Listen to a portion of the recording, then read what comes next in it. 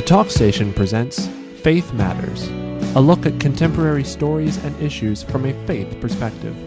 While this is a pre recorded show, we are interested in your ideas, comments, and questions, and we urge you to email them to faithmatters at thetalkstation.com.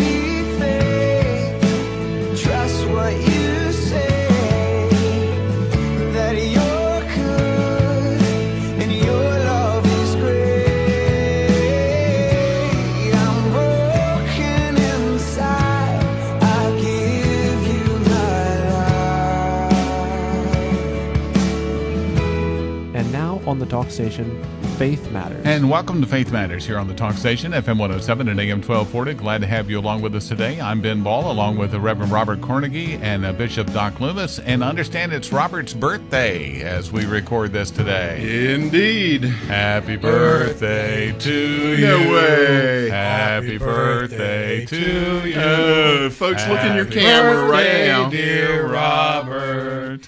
Happy birthday to you. A beautiful chocolate cake with FM Faith Matters on top of it. Thank you.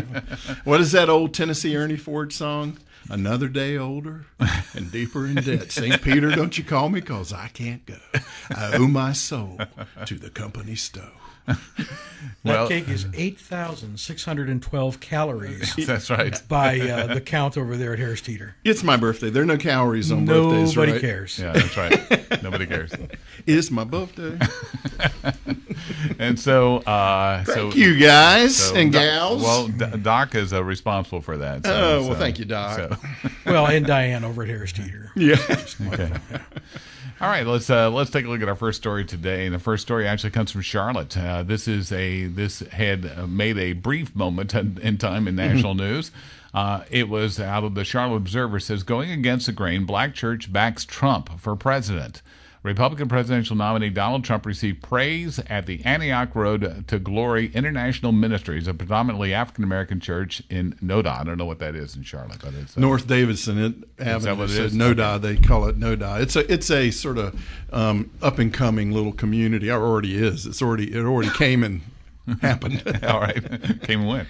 All right, so before before the event began, a car driving by, dropping the f bomb, and then uh, as people entering, uh, officers from the Charlotte Mecklenburg uh, Police Department were parked nearby. The speakers included Laura Trump, Donald Trump's daughter-in-law, who spoke to the character of the Trump's family, speaking about uh, the Eric Trump Foundation, et cetera, and St. Jude's uh, Children's Research Hospital donations.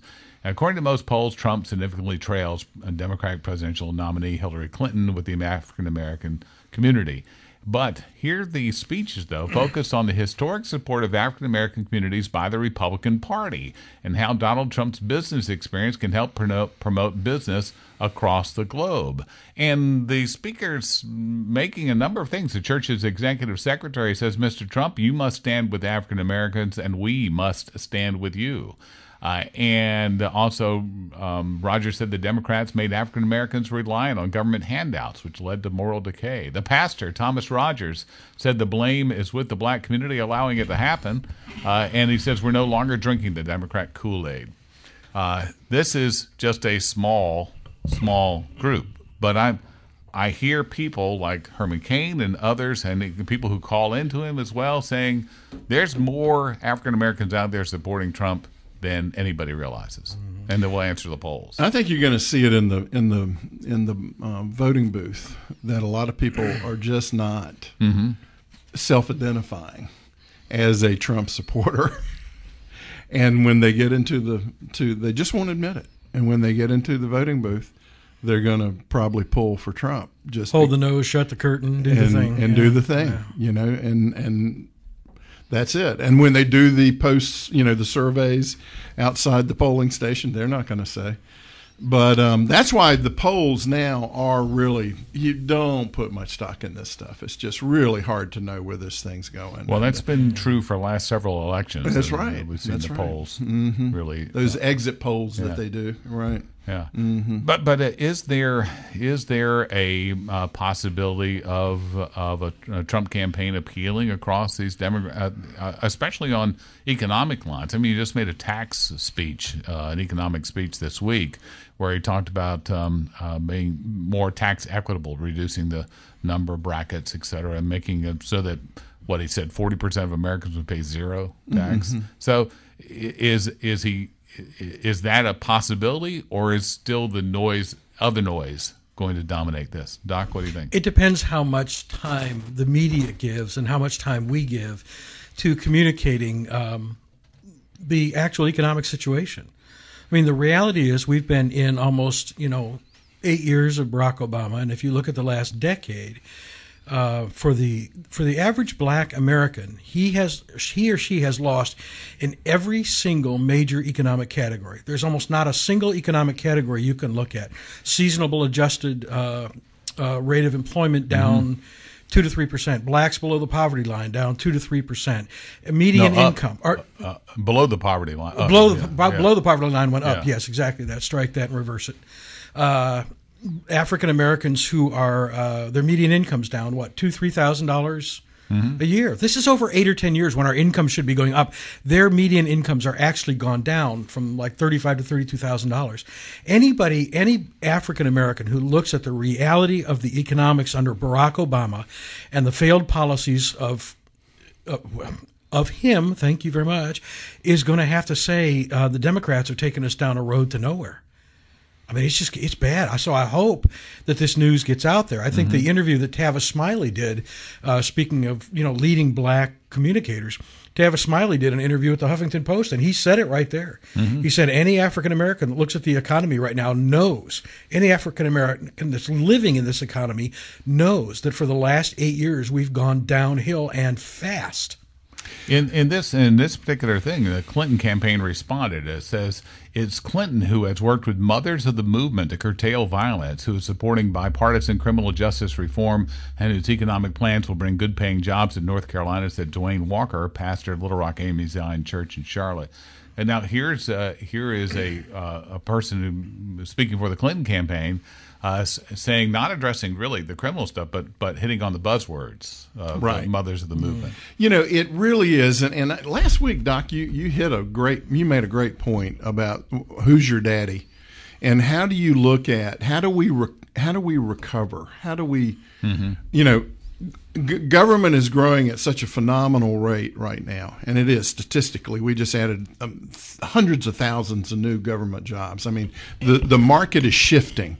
Oh, and we're getting to that kind of kind of tipping point where there where you know the number of government employees are are getting close to the place of of exceeding the number of private employees. I mean, we're seeing the shift taking place, and so ha- but the government relies on private income for its capacity to function, and but there's still this this um, belief that government can solve all these problems. That government creates jobs and creates opportunity, and therefore we need the bigger the government is, the better it is for the nation.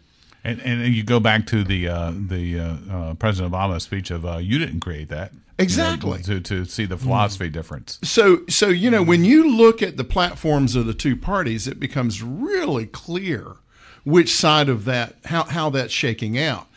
Um, Republicans have always tradi- traditionally believed that it's better to l- take the government's hands, a smaller impact, reduce the number of regulations, um, step back from it so that, that we can release the strength of the economy Now now and that's not and that is not a popular position on in the Democratic Party right now. It used to be. now also in this article, uh, when people saying, well, how can this church endorse a presidential candidate? At the end of it, they say they are uh, not a nonprofit, uh, so they pay taxes. Yeah. So, so they don't have to abide by that uh, Johnson Amendment uh, rule about uh, endorsing candidates from the pulpit. They can It- do that. Isn't So that it's- interesting that yeah. that um, uh, Trump came out a, a few weeks ago, I guess, or last week, I can't remember when it was, but he said that he was going to repeal the Johnson Amendment. He was going to push to try to get that repealed so that mm-hmm. churches could once again be involved in the political process. In the meantime, the Christian Science Monitor, with an article, says pulpit politics do religious leaders influence co- congregants' political views by Ben Rosen. He, and he writes in the opening paragraph. He says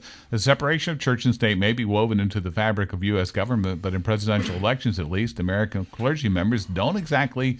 Uh, keep their church, uh, churches completely separate from the state, according to a Pew survey released Monday. The survey found that clergy members have not often brought politics into the pulpit in the last few months, yet when they have, religious leaders have focused on issues, including religious liberty and homosexuality, not, homosexuality, not on endorsements of candidates. Uh, again, this has been now we've had several gener- couple of generations anyway of the Johnson Amendment, so they've gotten used to that, I guess. Well, that's complying with the law. That complies with the law. And and the hook, of course, as you pointed out, is that uh, most churches are are tax exempt organizations, whether they're they're you know officially that through charter or whether just churches. Churches are tax exempt automatically. So, um, but there are some that don't operate within that because the hook to the law is that you lose your tax exempt. They can take away your tax exempt status. That's the enforcement. That's the enforcement, and so this church doesn't operate by that. So Yeah. So, but uh, but if if we were not in that position, if you didn't have that that hanging over your head, uh, I imagine churches would. But I don't You know. only I- have to go back to the Civil War. Yeah. I mean, during the Civil War, you had northern and southern churches not only preaching sermons in favor and not in favor of Lincoln, but they were actually publishing those sermons in the paper right, before the law. right. All right. Uh, more to come in a moment here on Faith Matters on the talk station, FM 107 and AM 1240. We're glad to have you joining us here on the program. And I'm Ben Ball, along with Reverend Robert Cornegy, birthday boy, and also Bishop Doc Loomis. And we'll have more to come in a moment.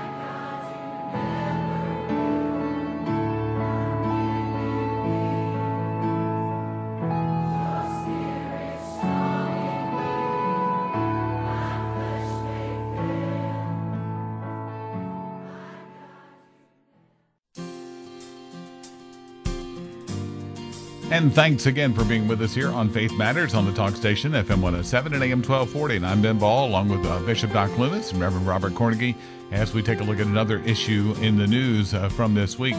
And this is from uh, taken from the Salt Lake Tribune. BYU athletes, LGBT uh, groups call for Big 12 to shun BYU. Uh, Brigham Young University's intolerance of homosexual behavior should keep the private school out of the Big 12, a group of national LGBT advocacy groups says in a letter addressed to Big 12 Commissioner Bob uh, Bowlesby.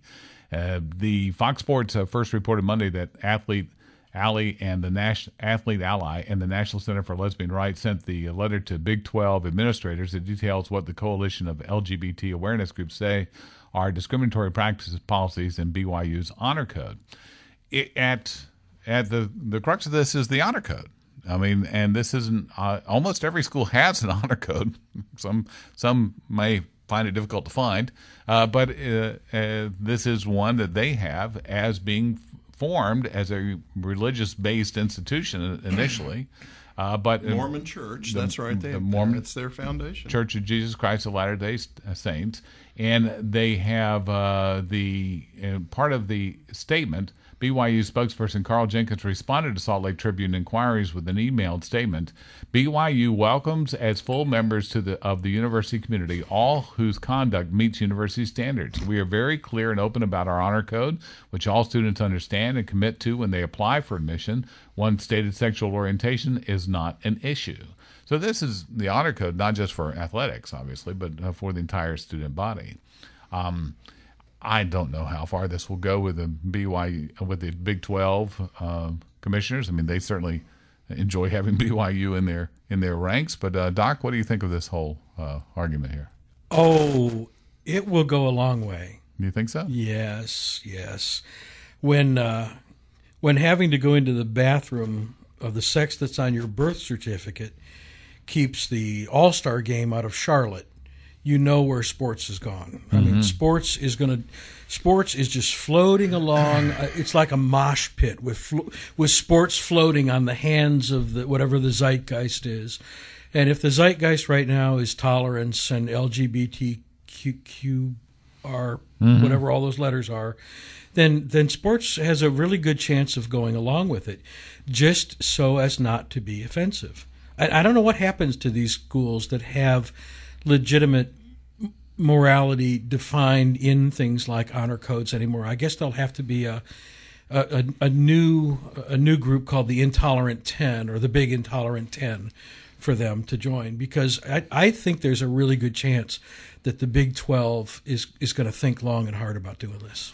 This is a uh, uh, the Big Twelve is also. I mean, East Carolina has been um, you know trying trying to get into the Big Twelve as well too. I mean, they're an important conference for athletics, and so BYU uh, is one of the other last of the independents, and they're looking uh, to perhaps join it. The BYU announced on July 19th that it has authorized Bowlesby to begin searching for interested uh, schools to explore expansion from 10 to 12 or 14 schools. BYU has long stated its desire to join a Power Five conference, and so they're looking for that as well. Uh, some other schools are trying out uh, for that, but uh, in Monday's news, certainly cannot help BYU's cause. That in that regard, the policy on diversity in Big 12 handbook states that it is the obligation of each member institution to refrain from discrimination prohibited by federal and state law, and to demonstrate a commitment of to fair and equitable treatment of all student athletes and athletic departments personnel. Now, what what in the honor code would violate federal or state law?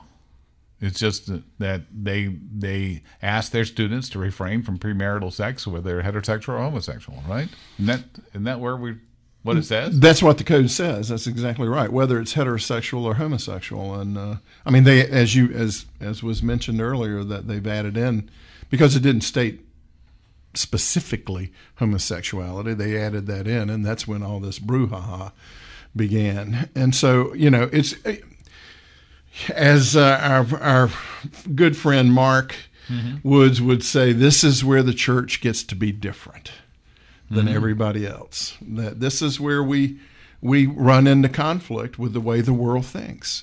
And so, if a if a, a school, a faith based school, has a code of conduct that is contrary to the way the world looks at things, then the, the school has a choice.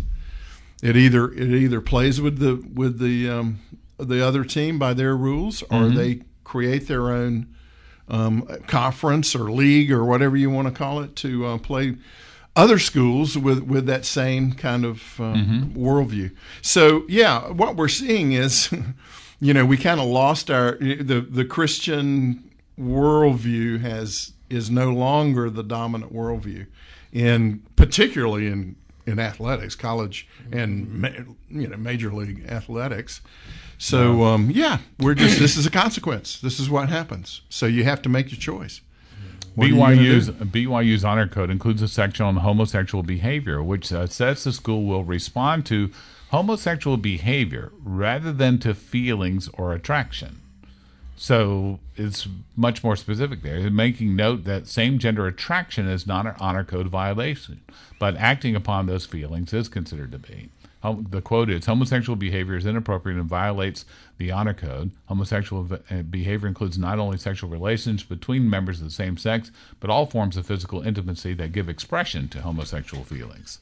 Uh, so PDA, public displays of affection, I guess. Uh, and this is uh, this is that what they have set out to to honor the principles of their faith. Well, pardon the pun, they've driven that stake in the ground, um, and they're going to have to, um, you know, whether they're going to move that stake or not is is another question. You know, they're going to have to make that choice, and and I know a lot of athletes love playing for BYU. I mean, they have a great athletic reputation, and uh, um, but it will it, if they stick by this code, it's going to limit who they can play with. It's going to be like the Charlotte situation. Right. Right. Right. So there are consequences. Ideas have consequences. This is one of the consequences. So, So, yeah, I, I'm going to see who's going to write BYU and the guaranteed money off their schedule. I mean, that will be the that'll be the one that, That's that right. makes a difference. well, recruiting. This Money can affect status. recruiting, though. Think about that. The good, the thing that BYU has going for it is it's not a federally funded institution. Correct. It's still a private school, It does not receive federal funds, and that's how it can take a stand like this, which a lot of schools can't do.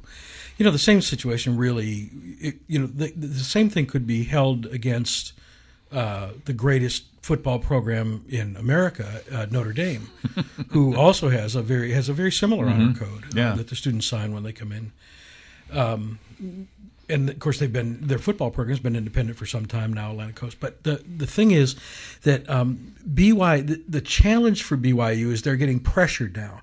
There's so much money in collegiate sports, as we all know. Right. I mean, this is where those those TV times uh, are where these schools make enormous. Some some schools in what is it now? Twenty and thirty percent of their total revenue coming from those athletic endeavors. Absolutely. And so, you know, if you if you're getting pushed out of a big conference uh, and you're not getting the prime TV places, then you're not getting the big bucks. And so they're in a. I think they're in. It's always we talk about this every week. It's always follow the money, but this is a real financial squeeze, don't you guys think? I mean, that if they get into a Big Twelve, their revenues are going to go up significantly. I heard for East Carolina, it's like two and a half. Uh, uh, no, no, like twenty-two million dollars is uh, is how much it would. That's mean. tuition there. No, Oh. is how much it would mean to East Carolina if Yeah. they if they became part of the Big Twelve. Amazing.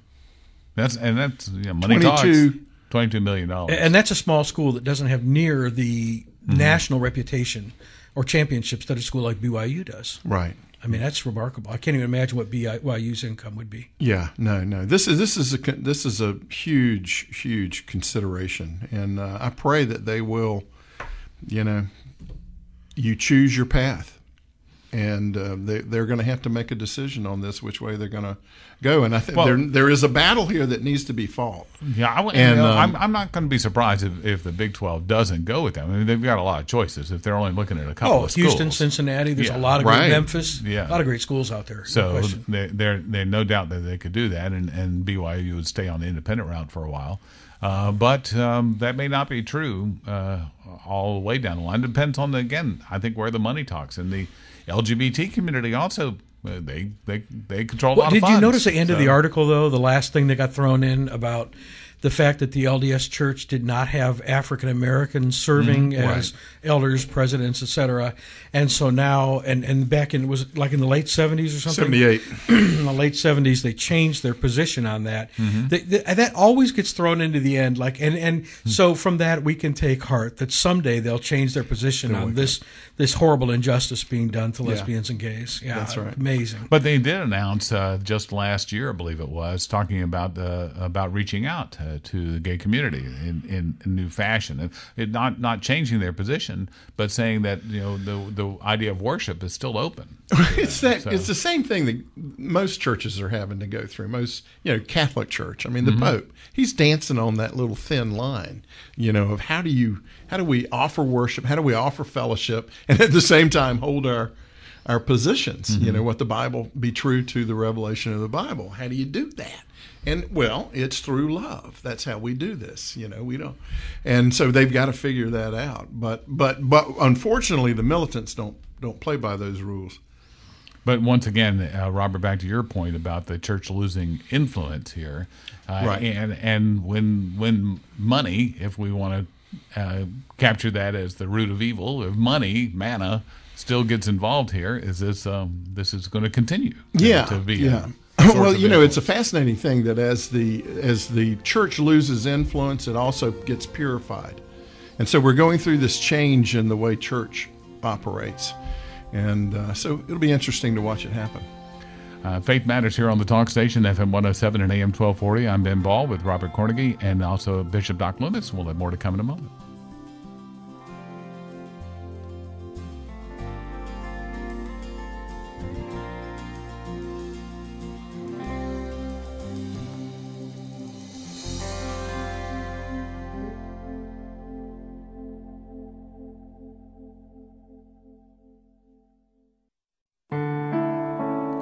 Welcome back to Faith Matters on the Talk Station, FM 107 and AM 1240. Thanks for uh, joining us here on uh, this uh, Sunday morning as we record this on a Wednesday, on Robert's birthday, too, by the way. I'm Ben Ball, along with, we're going to say that every segment. Uh, and uh, Robert Cornegy, uh, Reverend Robert Cornegy from Chapel by the Sea, with us, and also Bishop Doc Loomis. And as we take a look at um, at uh, some of the stories, and as Doc goes to the window, I don't know why, uh, but let's start with another story. Actually, Robert, you sent this one to us. You've had some experience working in charities, uh, in international charities. Uh, World Vision loses two major donors after being accused of funneling millions to Hamas. This is from uh, the Christian Post. Uh, and the article starts by saying the Christian charity World Vision has lost two of its biggest donors, Germany and Australia, government organizations, after the organization's Gaza Strip director was accused of diverting millions of dollars in cash to the Sunni Palestinian terrorist organization Hamas. Uh, why should we care about this, Robert? Well, number one, um, you know, World Vision is the elephant in the room. I mean, these guys are massive in, in, in relationship to all the other non governmental organizations, NGOs, they're called.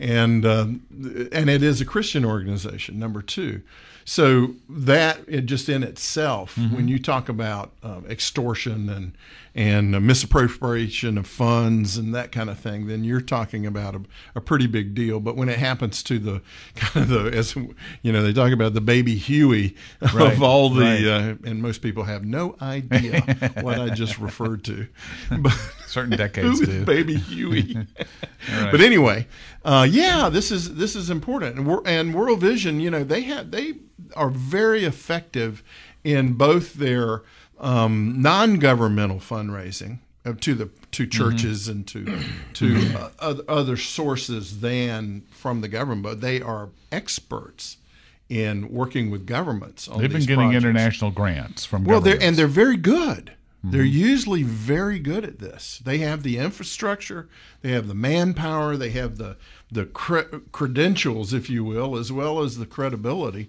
to be able to do these kind of things. These big, massive projects. I mean, we're talking about millions of dollars going mm-hmm. into these things and partnering with governments to make sure they come out. And particularly in this area where it comes to, you know, Palestinians and Israel and all the complications that layer on top of that. And it's just fascinating. I mean, this is this is scandalous, quite frankly, if this is is true. And and of course, you know the the uh, they're still doing kind of their due diligence in this, but just the accusation has had an impact. And you know, government funders don't want to play around. so with, they've paused. Basically, they have pa- they have yeah they haven't said we'll never fund again. They just said we're not you're not going to get any more of our money right now till this thing gets straightened out. Uh, Doc, uh, what do you see on the on the international front? Is this going to be something that chills uh, donations to uh, World Vision or other groups like it?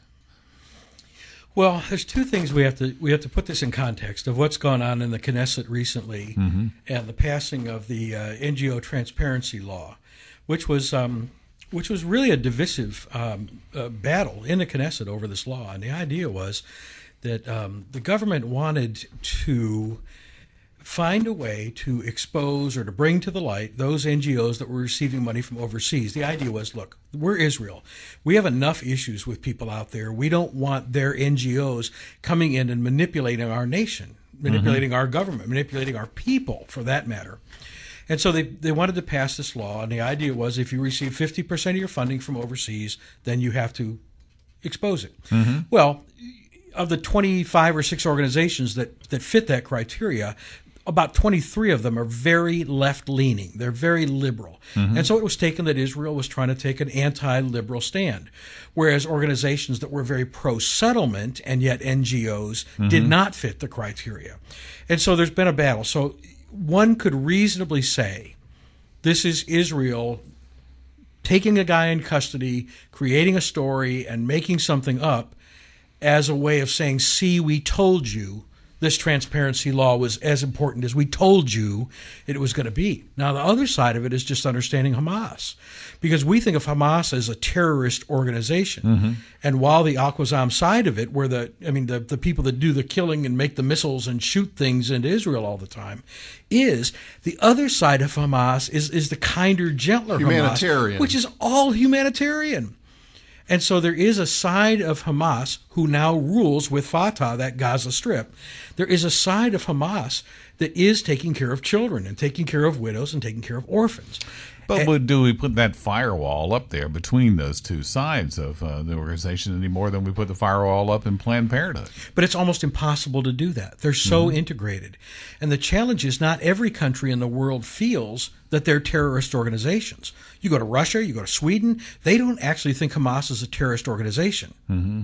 So what's going to happen is probably the, the countries that consider Hamas to be a terrorist organization are going to think twice about World Vision in Gaza right now, and probably the others aren't. And Australia and Germany Probably. are, are there.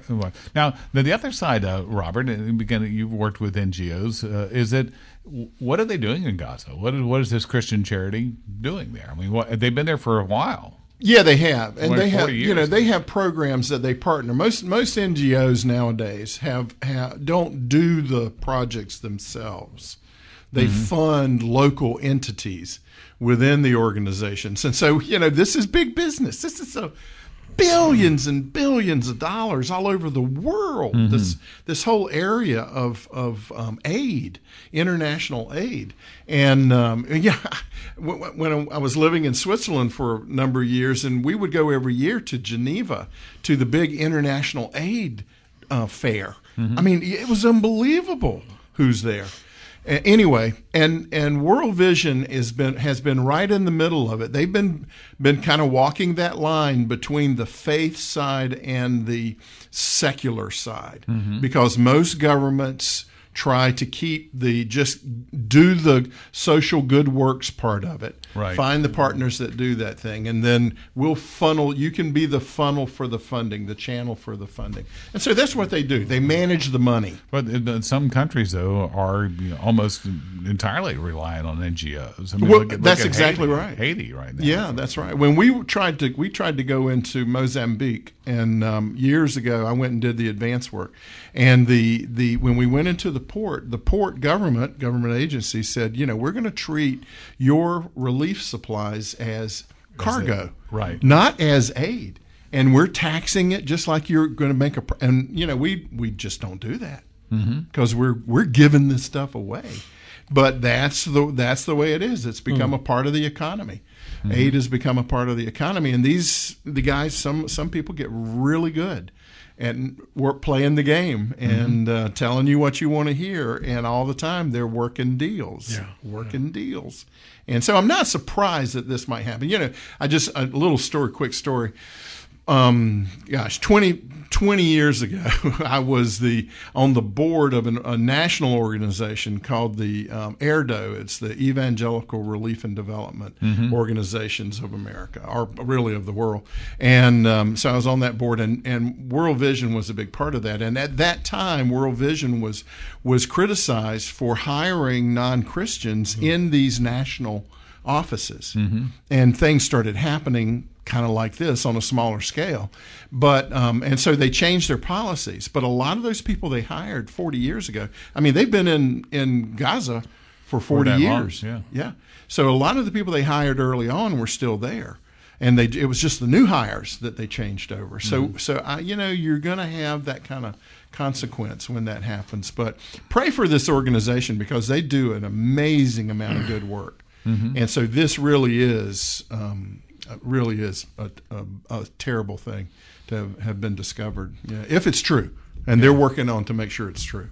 Yeah, prediction on what we're going to find in the end, if it ever gets published, is that this uh, this guy was feeding money into uh, into the benevolent side of Hamas, Israel, to make a political point. Arrested him, published some kind of a confession, and is going to use that as a uh, uh, to, to broker a little bit more power in, Israel. Frankly, I think that's what we're going to find out. I think the guy's going to be exonerated. Well, I don't But- know. but it don't could be. Look, that that that bright line between Yeah. the humanitarian side and the military side is not bright. I mean, no, it's it's, it's, it's very existent. there. porous. Absolutely. And so it, there's no doubt that if, if this money actually was sent in that way, a percentage of it got over to the other side. So, Well, uh, you well, know, people in Israel, I think, have a reason to to, to be skeptical of uh, of, uh, Absolutely. of, a, of an organization that has. has Well, that they do, but, but you know where it comes down, where the, where the rubber meets the road, is where you take your money that you're receiving from World Vision, and what they do is they they do a lot of farming work, for example. Correct. So you hire a farmer, who happens to be a Hamas militant, Mm-hmm. but you're paying him a farmer's wage. Israel can, I'm not going to say rightly or wrongly, they would view that as being a payment into terror, Right. Mhm. Right. But he, he, the guy, he actually thinks he's, you know, planting fig trees in Gaza. Mm-hmm. All right, that's Right. So that's what that's. I think that's what we're going to find out To is hide that his be- rocket launchers. Is, well, yes, exactly, exactly. Yeah, it's boy, I tell you, that's a tangled web over there.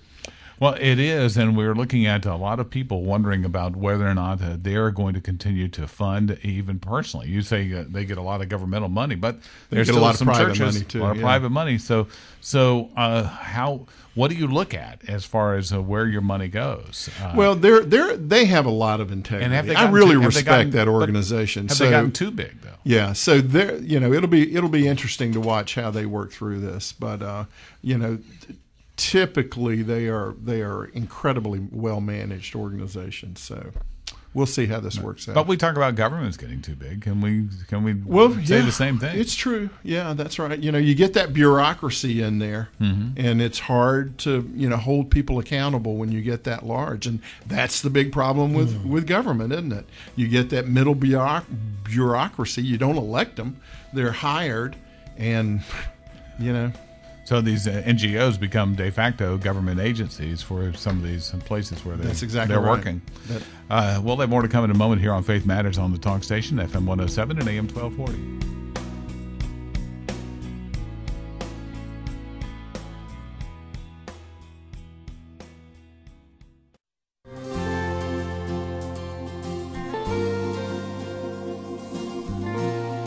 Welcome back to Faith Matters on the Talk Station, FM 107 and AM 1240. And I'm Ben Ball, along with the Reverend Robert Cornegy and Bishop Doc Loomis. Final segment uh, today, want to bring up a North Carolina law. This is a, a- from ABC News. Uh, no quick ruling in North Carolina same sex marriage lawsuit. A federal judge seems inclined to let a legal challenge continue. It's interesting how lack of fact in that sentence. No, a, a federal judge seems inclined to let a legal challenge continue over North Carolina's law allowing magistrates to refuse to marry same-sex couples, but only if those suing can prove they have a right to file the legal action. U.S. District uh, Judge Max Cogburn didn't rule immediately after Monday's hearing in Asheville, but seemed concerned about two issues. On one hand, he said no one had directly proven that they had been harmed by the law, uh, but he also uh, noted that in court administrators apparently allow magistrates to keep their objections secret, so gay couples who appear before them on other matters wouldn't know about those objections. Lawyers for the state went to want Cogburn to throw out the lawsuit. The judge said he found that their arguments persuasive, that gay couples couldn't say they were being harmed as taxpayers since the law requires another magistrate to be brought in for gay marriage duties. Everybody can get married, is the quote, and nobody is forced to marry anybody, says Cogburn, an appointee of President Barack Obama, who was the first judge to strike down North Carolina's gay marriage law two years ago. So uh, it's one in 20, 5% of magistrates are refusing to marry same sex couples. But the, the way the, the administrators are working it out is that they fill out the paperwork for that and they just file that away and assign another magistrate. And some are saying, oh, that's being secretive about it. Well, the, I think it's- it's, it's not. It's secretive, but the but the line here is this is amazing. Listen to this: gay couples who come before a local judge for an eviction or a small claim have a right to know if that judge won't marry gays. Why? What? Why? What difference? Why? I mean, so if I come before a judge over a divorce, shouldn't I have a right to know if that judge went through a horrible divorce? If that judge was left by her husband, shouldn't I have a right to know whether that judge's kids ever did drugs if I show up on a drug charge? I mean, this is this is ludicrous that I have to know how a judge feels about and frankly, just because I know how a judge feels about gay marriage does not tell me how the judge feels about gays. Right. or or uh, or you know or another matter like a property dispute i mean that's what he's saying if they if they appear before that same judge on an on another matter entirely that has nothing to do with marriage Right, claims. that's what I'm saying. And if you Yeah. can say, "Well, I, he's throwing me, he's evicting me because I'm gay," I mean, seriously, this is this so- is we, we're in fact the the idea of keeping that decision secret and just sending in another magistrate uh, is seems to me to limit harm. It seems to be going exactly to to do so that there is not harm uh, to, to that individual. Alleviating the opportunity that someone could have a bias. Yeah, but what, what but what's happening here is this is the LBGT crowd saying, "Show us who those people are." That's right. Why? Because then we're going to target them. Right. We're going to target them in elections. We're going to target them in the in the media. We're going to target them publicly. We're going to go to their homes and look. At this is all this is. We want to know the names. Give us the names. Give us the names. And this has been a, a drumbeat for that movement for as long as we've been around. Yeah. Yeah. Uh, lawyers for the two gay couples and one interracial couple suing to overturn the law say that the case should go forward because no taxpayer money should go to a judge who refuses to uphold the law. The U.S. uh, Supreme Court ruled in 2015 that same-sex marriages are legal throughout the country. Uh, i- it's it's that's really dubious to say that taxpayer money is going one way or another. Magistrates are in North Carolina are are hired. Or they, they're appointed by the Superior Court judge. Uh, they basically work through in coordination with the clerk's office, uh, and they're really the the people's court. I mean, that's the lowest level of of court, magistrates court. A- And their money comes through the fees that people pay Right. to be entertained in court. Yeah. And to get marriage licenses. Correct. And to perform ceremonies. Yeah. Last I heard. Is that am I wrong? Mm-hmm. I on believe that, that's Ben? correct. Yeah. Yeah. So, it's not taxpayer money, Per se. at least in no in no significant way. Right. At all. So, so, so the argument just seems to uh, to to fall on its face. However, it is the cause du jour. It is. That's exactly right. And this guy has already, you know, exposed his his position on. He's. by- I mean, you know, it's pretty obvious that he's he's working an agenda right now. This judge. I hate to say it, but he's the guy two years ago that threw out our state law. Basically, and Right. so you know he's he's But he- got he- a uh, I'll- he's I'll got a pony though- in this race. Except his questioning here, though, does seem to be pretty unbiased. I mean, his questioning here is he's saying, "I'm not sure you have standing." We exactly, but until he got to that point, that Yeah. there had you know, then he contradicted himself. So yeah, look, What? You don't think he contradicted No, himself? I, I, he, he may have, and I know where you're going with this, but I, I have a feeling that what he did was he threw down the gauntlet. He just said, "Right now, I don't know that you all have standing. In other words, I you can't prove to me that you're hurt by this. So I'm thinking this now." If The only way back- they can you- prove it- Right, so if you come back to me and can prove that you've been hurt by it, well, then I'll have to reverse. I'll, then I'll have to move forward with it. Right. So now he has just given the marching orders to an agenda and said, "Find a way to be hurt, and I'll side with you." Which That's is his statement saying you have to expose how these judges feel about gay sex Right. or gay marriage or gay, whatever it is. And that's where they get the evidence to be able to prove that they've suffered. You know, it's your this. birthday, Rob. I just want to say I love your radio voice. I wish I had that deep, resonant radio voice. It's taken me 68 years to develop. A lot of want you to cigarettes and booze. I'm thinking, Yeah. no, you No, really, no. you are. You that, that voice. It's just, it's so good to be here with you on your birthday. And well, it's All a right. treat for me too. Uh, you got another four and a half minutes here before you need to start doing that. I thought we needed. Are we stretch. stretching? no, no. Look, but uh, let me let me go back to this for a second because this this uh, this argument is is not in a vacuum. This argument is in the backdrop of lots of other things that are going on in state law. I mean, we have um, the the the religious objection uh, law. Uh, you have uh, again the whole gay marriage law, HB2. HB two, even voter ID, any number of other things that the supposed, as the AP always point out, the Republican legislature, even though some Democrats also vote for these things, um, uh, that they're passing, and they're always passing these laws that just that just can't hold up. And of course, we also had the backdrop of an attorney general, state attorney general, who's a Democrat, who was elected, but is refusing to defend these laws. And for example, the voter ID law doesn't want to appeal it. The same sex uh, marriage uh, law did not choose to defend it. It required outside funding to do so. Uh, and it is. Uh, which completely undermines their whole position on obeying the law for the magistrate, right?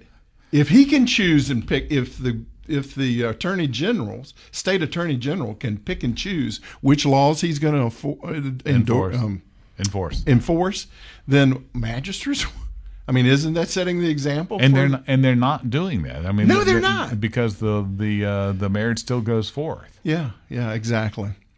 Yeah, this you know the, the I think the issue is really that that the uh, this momentum that the LGBT group activists have had is pushing this this thing. And so how do you you know we're going to use a sports analogy. How do you stop the big mo?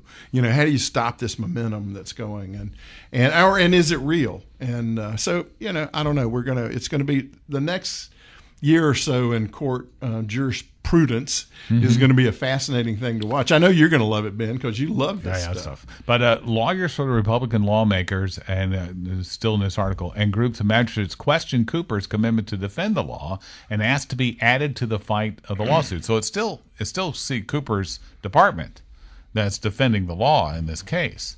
So they they're and they rightly so are questioning his commitment to that. Uh, they uh, the this Associated Press um, ran a story in April of 2015 saying that Cooper said he would veto the law if he were governor Right. he would have vetoed that.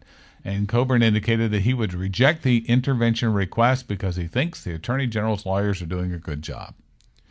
That may be that may be the tip of the hand as much as any tip of the hand about this about this story. So um, the the people in this uh, courtroom um, are are watching this uh, play out in this courtroom, and now we'll see where it goes. There's again the backdrop of any number of other suits that are taking place about this. In Missouri, that was struck down, and other laws, uh, rel- religious objection laws about uh, birth control and things like that. We've talked about those before. That those are those are being challenged, and they may have to wait now for a court that is a eight person court, still a four to four court to come down and decide this. So how much does that put pressure on? Again, the next mm. appointee to the court, which Well, is that's exactly right. Yeah. becoming the big and, story. And who will be doing the appointing Right. is the question for the Supreme Court, anyway. Yeah. All right. Now you're at the point where you can do the stretch. for the- we need some more We time. already blew it. I, uh, the downside is it being Robert's birthday. We spent a lot of time. I wish we could have gotten to the story about Donald Trump stepping out of the race this morning. Oh, no. but you know we'll get to that. Oh, he didn't. I just know a couple listeners right now who are Newsflash. yes, that's right. this is not War of the Worlds, folks. So People don't- think he stepped in it, but not out of it. yeah, stepped into something. we are in interesting times, and that's why now more than ever, Faith Matters is your go-to show on Sunday morning. That's Boy, right. I tell you, if you want the answers on what's coming up, Because in the government can't shut us down and they can't take away our tax exempt status because, That's by gosh, we're just a couple of knuckleheads saying whatever we feel like. And we get paid in cake, yeah, that's right. which we're enjoying just a moment. Yes. Again, happy birthday, Robert. Thank you. Uh, that's going to wrap it up for this session of Faith Matters here on the Talk Station. Thank you for joining us for Faith Matters. Email your comments, questions, and suggestions to faithmatters at thetalkstation.com. Give me faith, trust what you